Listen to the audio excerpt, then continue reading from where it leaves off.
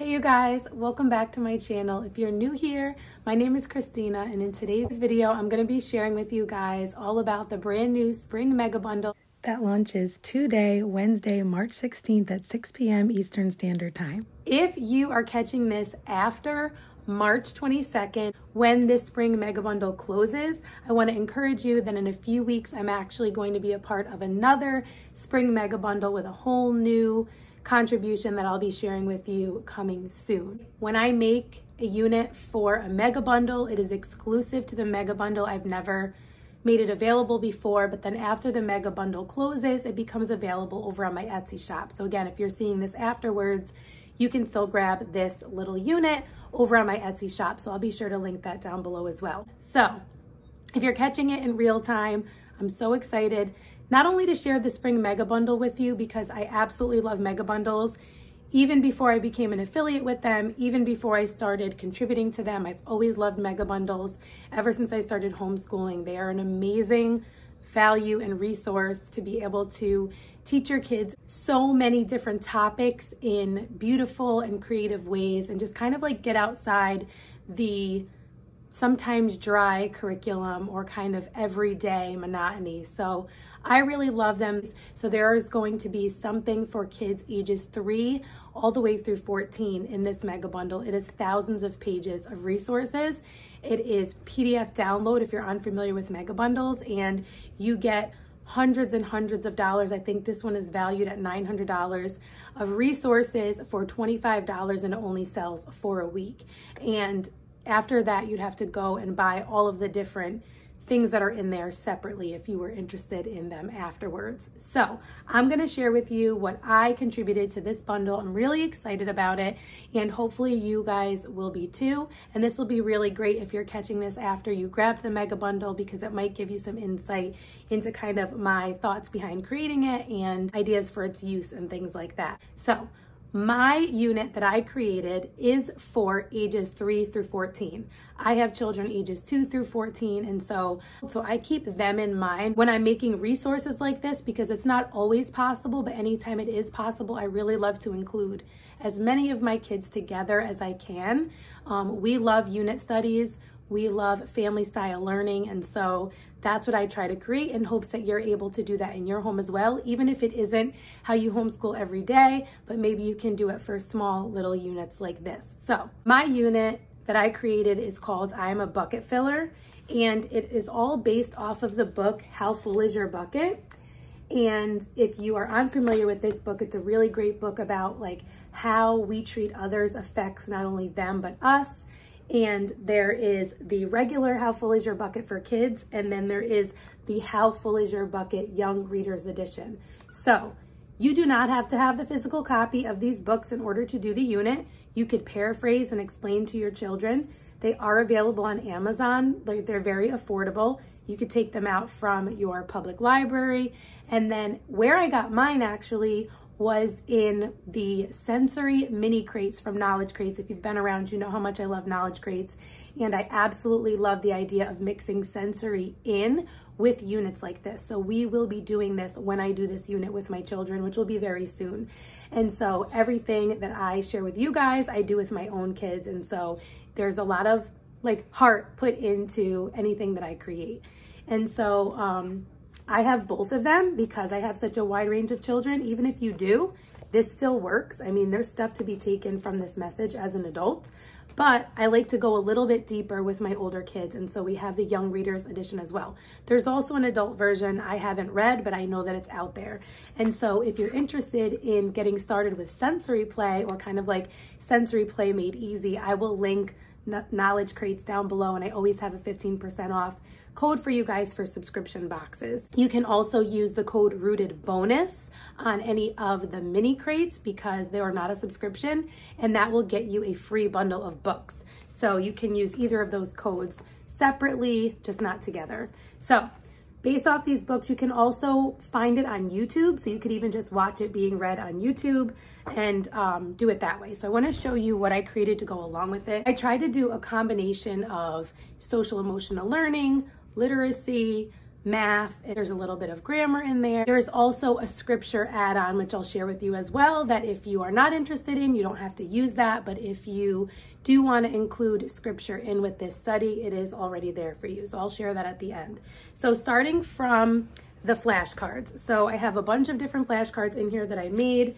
These go up to 10 and then jump to 15 and 20. So they can do skip counting from 5 to 20, 5, 10, 15, 20. And these are made to match up with the little bucket cards. So they can match up the number one or the number two or the number 10, 15, all of those to the cards that have the buckets on them. I also included addition and subtraction, greater than, less than symbols, and equal sign so they can do simple addition and subtraction with that as well. So there's a couple different ways to use those cards. Next thing for flashcards, they have matching up empty with the empty bucket, full with the full card, and then bucket with bucket. Um, so that's it for like the matching up the pictures to sight words. There are a bunch of sight words in here with our, which I'll share with you in a second. I pulled from sentences and sight words that are in the book. So it kind of ties in literacy with that. These are made to be used as sight words, but then also to build sentences. So you can use them for sentence building and you're prompted to do that on some of the sheets, which I'll show you in a second. So it also includes a question mark and a couple of periods so that they can say like, uh, you know, make I am a bucket filler. They can make the question, how full is your bucket? And all of those things, I am a helper, those kinds of things. And so there are a bunch of these cards as well. Starting from the youngest pretty much to the oldest, there are these um, large letters for finger tracing, actual tracing, um, just letter recognition for the younger kids, and then uppercase and lowercase, and then a picture and a word that goes along with that letter. So there's bucket, drip, empty, full, and then going a step up from there, they're tracing them a bit smaller, so maybe a little bit older of a child, um, and then they're tracing the actual word as well. So this is the B page, and it has B's and sight words. Then the same for drip. So there's the step up for drip and drop. This one includes the E and the empty.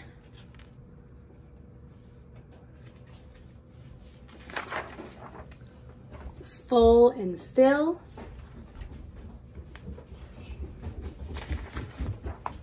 And then another step up is building the sentences. So they read the following sight word sentences, they build the sentences with the sight word cards, they trace the sentence, and then they write it themselves. So maybe they can only do part of that, maybe they can do all of it, but that's kind of the next step up. So you have I like to help, I am a helper, and then these are a little bit harder. Um, how full is your bucket? And I am a bucket filler with the same set of instructions. Then just another sight word activity. These are written a little bit smaller, full, fill, bucket, and empty. They trace them, they write them, and then this is a word scramble where they match it up and then they write it on the line.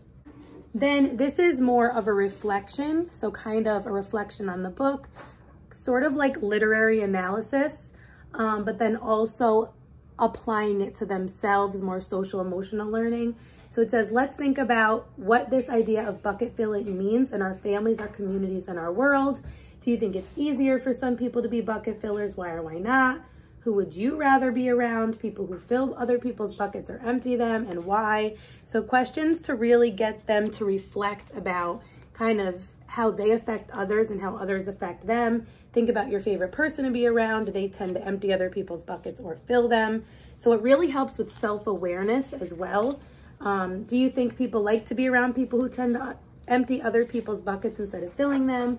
Why? You could use this with multiple different ages.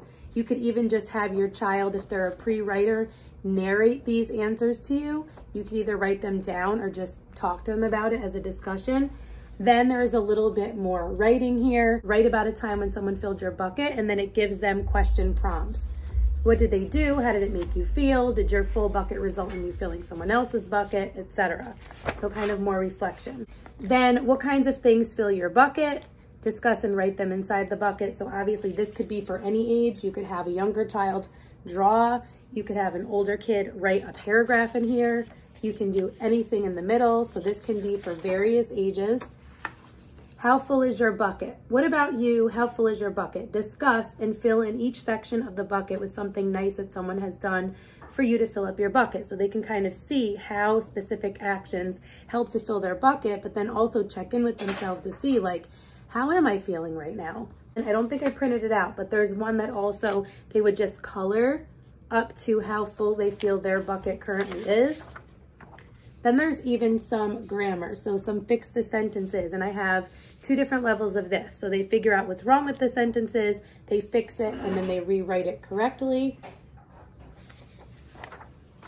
This one is a little bit more complex sentences. And here's where we get to the biblical integration. So that's it if you're not looking into looking for the biblical integration. If you are looking for the biblical integration, I'll try to start at the beginning. I have kind of different levels for this as well. So I have the flashcards that I didn't show you is the scripture, love is patient and kind. So the sight words are in here, but then they're also able to build that scripture sentence along with the scripture reference, 1 Corinthians 13, 4. So that's pretty cool. They can build that. And then this says, there is so much to be learned in this book about how to treat others. What does the Bible say? And then it gives some scriptures about that. Then at the bottom, it says, after reading the above scriptures, choose one and write about how it connects with the book. Then here is, and obviously you can use this one without the biblical integration, with the other pages that are like this, but I did the L for love because love is patient. Then I did the step up for that once again, where they're tracing the words a little bit smaller and also tracing the word love. Then there is some scripture copy work. So it gives the full scripture and then it gives just part of it. Love is patient and kind. So there's a step up from just the tracing the letters and the word love. Then from there, there's tracing the entire scripture, the entire verse. And then here is copy work that is not tracing. So they will copy over the scripture and then there's a prompt for them to pray scripture. Lord, help me to be loving and patient. Help me to be kind. Help me to not be jealous or rude. In Jesus' name, amen. So it kind of teaches them or highlights for them how you can actually take, take scripture and pray scripture over yourself, over others, those kinds of things. So teaching them how to pray. And then this one is even a step up for from that. So I was thinking about my 14 year old, but I think even my 10 year old could do this. So they, again, they have the full scripture and then it says, copy the above scripture on the lines below. Then in your Bible, look up verses five through seven and add them after verse four. So they would copy this down, then look into their Bible for the next couple of verses and add them. And then they have the praying scripture again. And then additionally, is there something you would add to this prayer? If so, write it below. So it gets them to kind of dig a little bit deeper spiritually at that age. Then there's one more scripture copy work for the older kids or any any child that you think is ready for this. And this talks about the fruit of the spirit because I wanted to use this as a way to talk to my kids about like, you can't truly be a bucket filler if you're not filled with the Holy Spirit. You can't you can't yield the fruit of the spirit, which is love and kindness and all of those things unless you're truly filled up by the only one who can truly fill us. So for me, I wanted to make sure to bring it back, always pointing back to God and everything that we do. Um, and so they'll copy that, but then they'll reflect, how can we get these fruits of the spirit? And if they can't really answer that, then that's where we really have that discussion um, that I was just mentioning. And so that is it for the unit.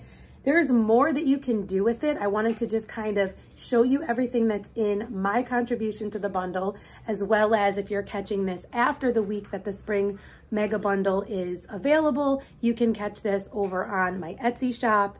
Let me know if you have any questions about this or the mega bundle down below in the description box. I wanted to show you so many things from the mega bundle that I'm going to be using with my kids.